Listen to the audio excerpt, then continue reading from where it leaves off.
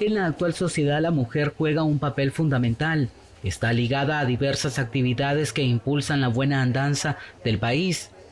Por tal razón hay que protegerlas ante cualquier enfermedad que les aceche. Estamos atendiendo un poco más de mil mujeres, más de 500 embarazadas, más de 300 mujeres con alteraciones en su papá Nicolau y más de 300 mujeres con ultrasonido de mama y ultrasonido pélvico. Y es que el Ministerio de Salud en ese cuidado y protección está realizando diversas estrategias. El objetivo principal es captar pacientes ARO con alto riesgo obstétrico, las cuales están propensas a mayores complicaciones, ya sean de hemorragias, preeclampsias, parto pretérmino, infecciones, tanto neonatales como maternas. Cuando una mujer se valora a tiempo, eso es lo que evitamos. Si nosotros hacemos eso, muy probablemente en Nicaragua no va a existir ninguna complicación.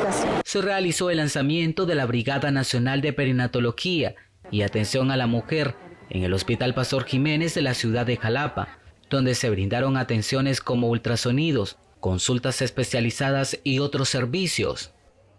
Pacientes mujeres a partir de los 25 años deben, hacerse su revisión anual. Y después de los 40, además de hacerse su ultrasonido, también su mamografía.